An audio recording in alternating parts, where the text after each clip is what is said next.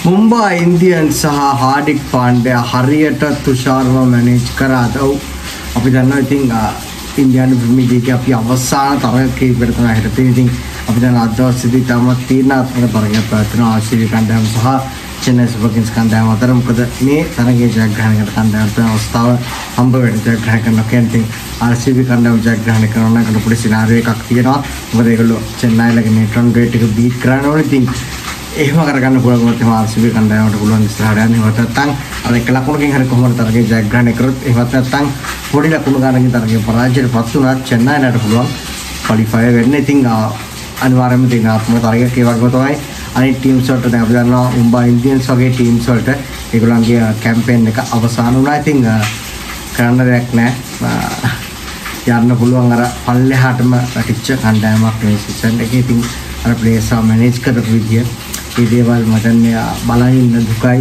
කොහොමද ඒ වගේ කියලා අපි ගොඩක් කතා කරපු මම කිව්වා මෙච්චර අවුරුදු ගාණක් මම මුම්බයි ඉන්දියන් ෆෑන් කෙනෙක්. ඒ කියන්නේ IPL පටන් ගත්ත 8 8 අවුරුදු ඉඳන් තාමත් මුම්බයි ඉන්දියන් ෆෑන් කෙනෙක් ඉතිගේ මොකද ඒ එතන ක්‍රීඩා කරපු ක්‍රීඩකයෙක් ඉඳලා කොටක් සනජ්ජස්ට්‍රීට වගේ ක්‍රීඩකයෙක් ඉඳ තමයි ප්‍රධානම හේතුව මේ මුම්බයි ඉන්දියන්ස්ට සපෝට් කරන්න. ඉතින් කතා කරොත් එහෙම අපි දන්නවා මුම්බයි ඉන්දියන්ස් කණ්ඩායම මේ පාද මේ පොයින්ට්ස් ටේබල් එක පොඩ්ඩක් බලන්නේ පොයින්ට්ස් ටේබල් එකේ අන්තිම ඉතින් තරග 14යි ඒගොල්ලෝගේ කැම්පේන් එක අවසానයි තරග හතරක් විතර ජයග්‍රහණය කරේ පොයින්ට්ස් 8ක් විතර ලබාගත් ඉතින් අවසාන ස්ථානය තමයි 10 වෙනි ස්ථානය තමයි ඔවුන් මේ තරගාවලියේදී ලබා ගත්තේ.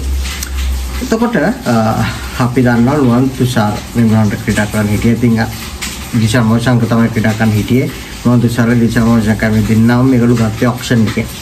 එතකොට දෙල්සාන් මොෂංක ඉන්ජර්ඩ් වෙනවා. යාගේ ඉන්ජර් එකත් එක්ක යාට සම්පූර්ණයෙන්ම එළියේ ඉන්න සිද්ධ වෙනවා. එයාට මේ IPL එක මිස් වෙනවා. එතකොට ඒකට මොකද ඒගොල්ලෝ කරන්නේ රිප්ලේස්මන්ට් බෝලර් කෙනෙක් විදිහට මේගොල්ලෝ පාකව කණ්ඩායම එතකොට ගේන ඉතින් අපි හිතුවා රුවන් තුෂාර මුලින්ද අම්මා අර අනිවාර්යයෙන්ම ස්ටාර්ටින් ලෙවල් එකේ ඉඳී කියලා නමුත් නැහැ මේකල පළවෙනි තරගය ටිකක් එක්ස්පීරියන්ස් එකක් තියෙන ලූක් පුට ලබා දෙනවා හරි කවන්න නැහැ කියමුකෝ හැබැයි ඊට පස්සේ දෙවෙනි තරගයේදී මොකද මේක කරන්නේ මොකද ලූක් පුට රන්ස් ගොඩක් ලීක් කරන හින්දා ඊට පස්සේ මේ අර අවුරුදු 17ක් වෙච්ච අර ඉන්ජරි රිප්ලේස්මන්ට් එකක් විදිහට කණ්ඩායම උඩට ගත්ත මපාකට දෙනවා අවස්ථාවක් අම්බානට වදිනවා ඒත් මේගොල්ලෝ මොකද කරන්නේ? ඊළඟ තරගෙත් දෙනවා. එතරම් රන්ස් ගොඩක් ලීක් කරන තින් කොහොමම යනවා. අපි බලන් ඉන්න ඕන තුෂාර කවදායිද කවදායිද කියලා. එහෙම මේ කට්ටිය කියනවා මෙයාට පොඩි ඉන්ජරි එකක් කියලා.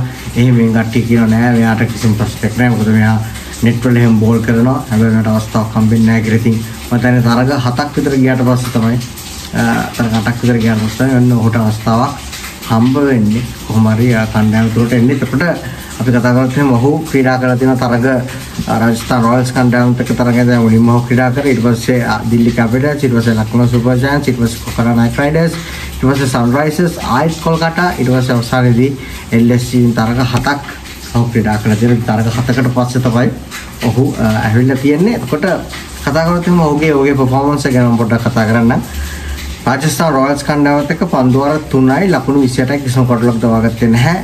දිල්ලි කැපිටල්ස් කණ්ඩායමත් එක්ක පන්දුවර 4යි ලකුණු 56යි කිසිම කඩලක් දවාගත්තේ නැහැ. ඔන්න පළවෙනි තරග දෙකේදී අර එක්ස්පෙක්ට් කර විදිහට පර්ෆෝම් කරන්න බැරි වුණා. කොට කොට කට්ටිය මෙයාගේ හොඳ පර්ෆෝමන්ස් එකක් එක්ස්පෙක්ට් කරන් ඇති ඒ වගේම තමයි මෙයාගේ ෆෝම් එකේ හිටියා. මොකද අපි දන්නවා අවසානයේට යක් ඉඩ කර ඉන්ටර්නැෂනල් තරගයේදී බංග්ලාදේශ තරගයේදී ඔහුට හැකියාවක් ලැබුණා. කඩලු ත්‍රිත්වයක් හැට්‍රික් එකක් එක්කම කඩලු පහක් ගවා ගන්න. එතකොට තුන්වෙනි තරගයේ ලක්නෝ සුපර් ජයන්ට්ස් කණ්ඩායමත් එක්ක ඔන්න පන්දුර 4යි ලකුණු 30යි එක කඩුල්ලයි ඊට පස්සේ කේආර් කණ්ඩායමත් එක්ක පන්දුර 4යි ලකුණු 42යි කඩු 3යි ඊට පස්සේ ආයිත් සන්රයිසර්ස් එක්ක පන්දුර 4යි ලකුණු 42යි කිසිම කඩුල්ලක් ඒ තරගෙදි තව ගන්න නැහැ ආයි කේආර් කණ්ඩායමත් එක්ක පන්දුර 3යි ලකුණු 31යි එක කඩුල්ලයි. මේක අර වැස්ස නිසා ඉෆෙක්ට් වෙච්ච තරගයේ පන්දුර 16කට සීමා වෙච්ච තරගයේ ඒ වගේම අවසානයේදී මේ ඊයේ ලක්නෝ සුපර් ජයන්ට්ස් එක්ක ක්‍රීඩා කරපු තරගයේදී පන්දුර 4යි ලකුණු 28යි කඩුළු 3යි ඉතින් තාමත් හොඳට ඒ තරගෙදී ලකුණු හොල පන්දු යවනවා. මොකද ප්‍රතිවාදී කණ්ඩායමට හැකියාවක් ලැබුණා. ලකුණු 20ට වඩා ලබා ගන්න. අන්න ඒ වගේ වෙලාවක තමන්ගේ එකනොමි එක 7ට වඩා අඩුවෙන් තියාගෙන පන්දු යනවා කියන එක විශිෂ්ටයි. ඉතින් තාමත් හොඳ පන්දු වේමකට ඔහු නිරත වුණා. සමහරන්න පොඩ්ඩක් මේ දවස්වල අර මොනන්නේ මාසයකට දෙකකට වගේ කලින් තිබ්බේ කැස්ස තාමත් තියෙනවා. ඉතින් හරි ඒ වගේම එතකොට අපි දැක්ක දැක්කා මේ ඉන්දියාවේ දැන් මෙයා මේ මේක තමයි මෙයාගේ මේ පර්ෆෝමන්ස් එක උඩ කතා කරොත් එම්ම පන්දුවාර 26ක් යොමු කරලා තියෙනවා. ලකුණු 257යි කඩලු 8ක් අරන් තියෙන ක්‍රමයක පොඩ්ඩක් වැඩි 9.8යි 8යි. හරි. මම ඉස්සෙල්ලා ගෝ වගේම අපි දැක්ක ඉන්දියාවෙන් මෙයාව ඒ කියන්නේ ඉන්දියාවේ ස්ටැටිස්ටිෂියන් කෙනෙක් මෙයාව ඇනලයිස් කරලා තියෙනවා. මෙයාගේ මේ පර්ෆෝමන්ස් එක. එතකොට මුම්බයි ඉන්දියන්ස් කණ්ඩායමට මොනවද මිස්සුනේ? මේ වගේ ක්‍රීඩකයෙකු කොහොමද පාවිච්චි කරන්නේ? මේ හරියටම කතා කරොත් එහෙම ධෝනි මතේෂ පත්‍රේනෝ කොහොමද පාවිච්චි කරන්නේ? ධෝනි දන්නවා මොකද්ද මෙයාගේ රෝල් එක. මේ බෝල දන්නවා මොකද්ද එයාගේ රෝල් එක එයා මොනවද ඩිලිවර් කරන්න ඕනේ කියලා. ධෝනි කොහොමද වයිස් තීක්ෂණ පාවිච්චි කරේ? ට්‍රාන්ස් කන්ටේන් කරන බෝල කෙනෙක් විදිහට එහෙම නැතුව විකට් ටේකින් ඇටැකින් ඔප්ෂන් එකක් විදිහට නෙමෙයි. වරිදු හසරංගව කොහොමද පාවිච්චි වෙන්නේ? ඇටැකින් ඔප්ෂන් එකක් විකට් ටේකින් ඔප්ෂන් එකක් විදිහට. එතකොට ඇටැකින් විකට් ටේකින් ඔප්ෂන් එකක් ට්‍රාන්ස් ලබා දෙන්න පුළුවන්. ඒ රන්ස් අතුරට එකක් කමක් නැහැ. මොකද යාගේ ජොබ් එක හැවිලා රන්ස් කන්ටේන් කරන කෙනා අනිත් පැත්තෙන් යාට තව ස්පිනර් කෙනෙක් ඉන්න අන්න ඒ ස්පිනර් එක ජොබ් එක රන්ස් කන්ටේන් කරන එක.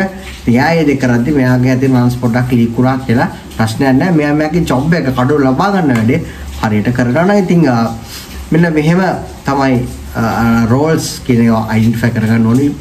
කැප්ටන් සහ ප්ලේයර්ස්ලා හැබැයි මෙතන මේ නුවන් තුෂාරගේ රෝල් එක යාගෙන් එක්ස්පෙක්ට් කරන දේ හරියටම අන්ඩර්ස්ටෑන්ඩ් වුණාද නැද්ද කියලා ප්‍රශ්නයක් තියෙනවා. ඉතින් මෙතන මේ දීපු නාරායන් වෙන්න මෙහෙම කතාවක් කියනවා. It took half a season for MI to bring in Nuwan Tushar. ඔන්න හොඳම දේ. It took half a season. ඔව් සීසන් එකකින් භාගයක් ගියා හරියටම. මොකද තරග 14 ක්‍රීඩා කරන්නේ. තරග 7කින් පස්සේ තමයි නුවන් තුෂාරට ඔන්න අවස්ථාවක් දෙන්නේ. හැබැයි අපි හිතුවා නුවන් තුෂාර මුලින්දම්ම මුම්බයි ඉන්ඩියන්ස් ඒ ස්ටාර්ටින් 11 එකේ ඉඳී කියලා හැබැයි එහෙම උනේ නැහැ.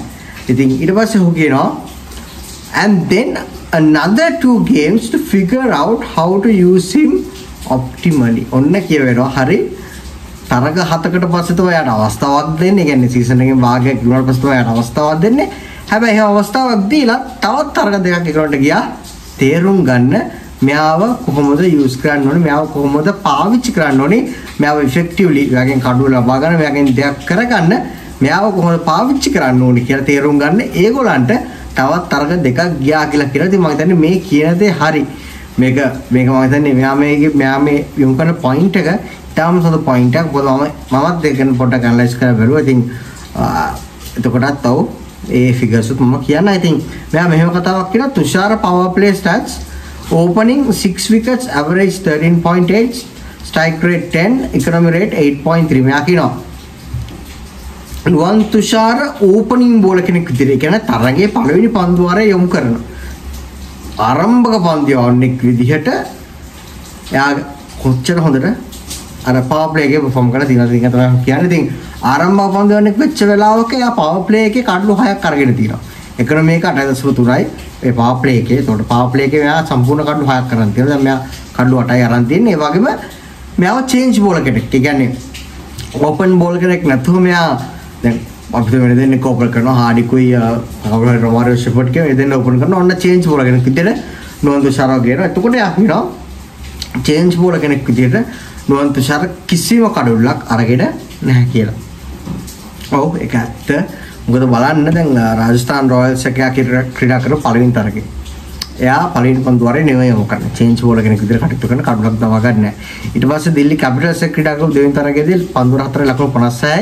එතන චේන්ජ් බෝල කෙනෙක් කිසිම කඩුවක් දවා ගන්න නැහැ. ඊට පස්සේ ලක්නෝ සුපර් ජයන්ට්ස් එක ක්‍රීඩා කරපු තරගයේ තමයි පන්දුර හතරක් යොමු කරලා ලකුණු 30කට එක කඩුවක් දවා ගන්න. එතකොට ඒ කඩුල්ල එයා දවා ගන්නේ පළවෙනි පන්දුවාරයේදී පළවෙනි පන්දුවාරය ඉතාමත් හොඳට දාන පළවෙනි පන්දු දෙක ඩොට් බෝල් දෙකක් ඊට පස්සේ එක ලකුණක් ඔන්න කඩුල්ලක් දවා ගන්නවා ඊට පස්සේ ආයිමත් ඩොට් බෝල් දෙකක්.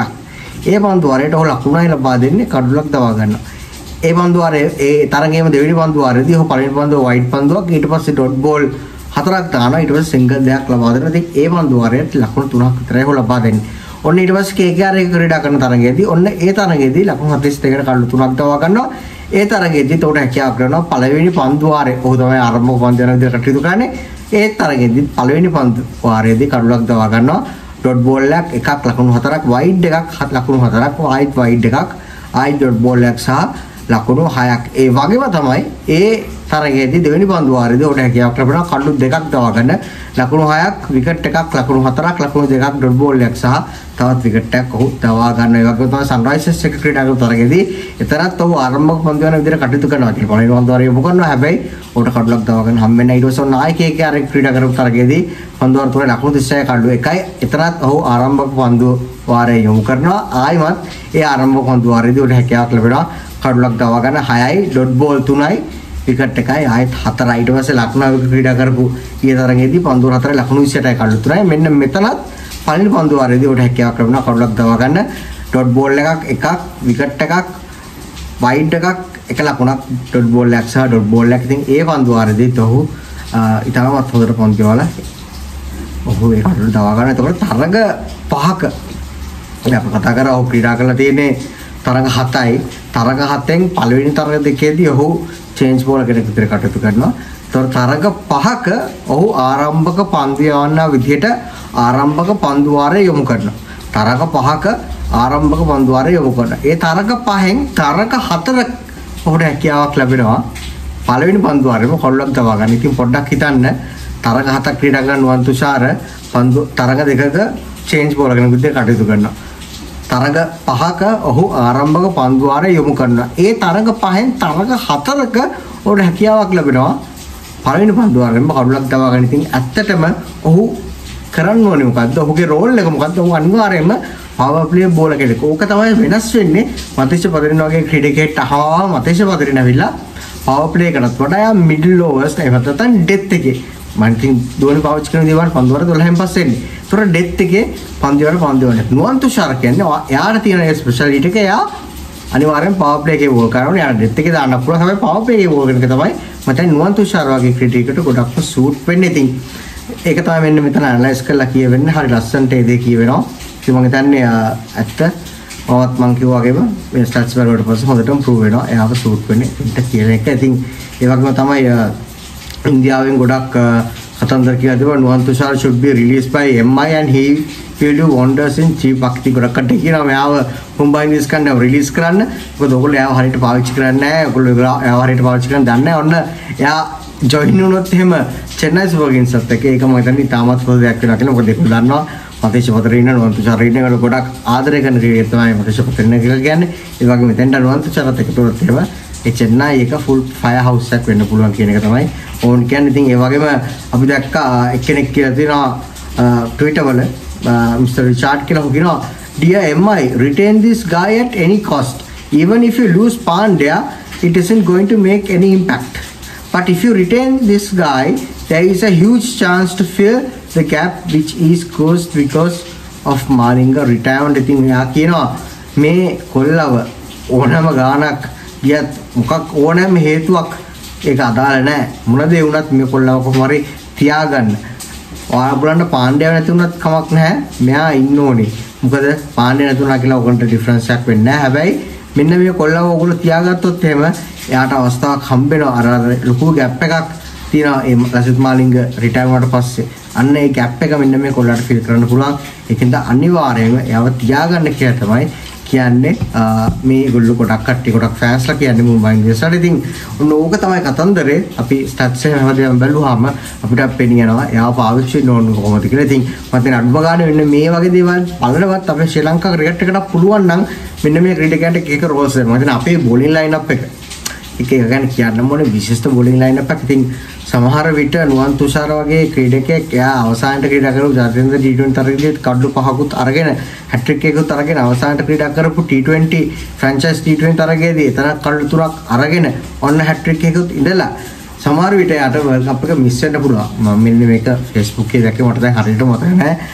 කවුද මේක පෝස්ට් කරලා තිබ්බේ කියලා. ඉතින් ඔහු කියලා තිබ්බයක් ඒ මට අත්තර නම මතක නැහැ. ඉතින් නැත්තම් මේක මම මේක කියන කාරණේ නෑ. මොකද මේක මම මම කියපු ගන්න නෙමෙයි. නැත්තම් මේක කනාවට හරියා දැක්කොත් එම වැරදිලා හරිය දැක්කොත් එහෙම කමෙන්ට් එකක් දාලා ඉතින් ඇත්ත මම හිතන්නේ ඒ කියලා තියෙන කතාවත් හරියටම හරි. හැබැයි ඉතින් අපි හිතමු එයාට අර කරන්ට් ෆෝම් එක කන්සිඩර් කරලා එයා පළවෙනි තරගයේ චමීර ගොඩක් දුරට චමීර තමයි ක්‍රීඩා කරනවා කියලා කියන්නේ. ඉතින් මොකද චමීරගේ එක්ස්පීරියන්ස් එකත් එක්ක හැබැයි චමීර පොඩ්ඩක් අර පර්ෆෝම් කරලා නැහැ මැච් ප්‍රැක්ටිස් එකක් නැහැ. ඉතින් මැච් ප්‍රැක්ටිස් එකක් තියෙන එක්කෙනෙක් උතන්ට දාන්න පුළුවන් නම් හොඳයි. පොඩ්ඩක් හිතන්න අපේ බෝලින් ලයින් අප් එක. නුවන් තුෂාර ඒ පවර් ප්ලේ එකේ බෝල් කරන ඕපනර් කෙනෙක් විදිහට කටයුතු කරනවා. අනිත් පැත්තෙන් තව අපිට මහේෂ් දීක්ෂිත වගේ පවර් ප්ලේ එකේ බෝල් කරන ස්පිනර් කෙනෙක්. මොකද අපි දන්නවා මේ විකට්ස් වල ගොඩක් ස්පිනර්ස්ට ඇසිස්ට් වෙන්න පුළුවන් කියලා තමයි කියවෙන්නේ. ඒක ස්ලෝ විකට්ස් පොඩ්ඩක් හිතන්න ඒ දෙන දෙපැත්තෙන් බෝල් කරද්දී මොන වගේ දෙයක් ඇති වෙයිද? ඒ වගේම අපිට ඉන්න මිඩල් ඕවර්ස් වල වනිදු හසරංගගේ ලෙග් ස්පින් එක තියෙනවා. මිඩල් ඕවර්ස් අපිට ලකුණු නවත්තන්න. ඒ වගේම අපිට ඩෙත් එකේ ඉන්නවා මතීෂ පදින මතීෂ පදන්නගේ යෝගස් තියෙනවා අපිට ඩෙත් එකේ බලා ගන්න. ඉතින් මේ බෝලින් ලයින් අප් එකේ. ඒ වගේම ඇන්ජලෝ මැතිස් වගේ අර වයිල්ඩ් ඩෝල් ෆොක්ස් ඒ කට සරම්මනන් සීම් අප් ඩිලිවරිස් දාන්න පුළුවන් දසුන් ශානක වගේ පන්දි වන්නෙක් ඉන්නවා. බලමු අත් දෙකම පන්දි ගන්න පුළුවන්. කමිටමන්ට්ස් තින්නදී බලමු. අපේ බෝලිං ලයින් අප් එක අපේ ස්ට්‍රැටජි එක මොන වගේ වෙයිද කියලා මේ ලොකු සරාදී ඉතින් මෙන්න මේක තමයි නුවන් තුෂාරගේ ඇනලිසිස් එක